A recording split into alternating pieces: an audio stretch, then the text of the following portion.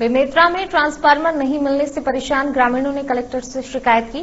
मामला बेरला ब्लॉक के सिंगारडेही गाँव का है। जहाँ का ट्रांसफार्मर पिछले 25 दिनों से खराब है, जिसके चलते बिजली की सप्लाई पूरी तरह से प्रभावित हो गई है।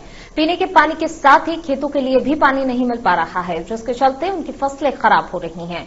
किसानों का कहना है कि इसको लेकर वे बिजली विभाग के कई बार चक्कर लगा चुके हैं, लेकिन अधिकारी उनकी बातों पर कोई ध्यान नहीं दे रहे हैं। किसानों का कहना है कि समय पर पानी अगर नहीं मिल पाया तो फ़सलें पूरी तरह से खराब हो जाएँगी। इसी बात को लेकर कलेक्टर के पास भी गुहार लगाने पहुँचे।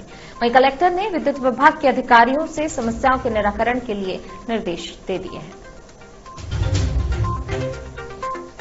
किसानों ने आज मुझसे मुलाकात की है और डी सी एस को समक्ष बुला करके ये निर्देश दिया गया है कि तीन दिवस के अंदर में समस्या का समाधान करें।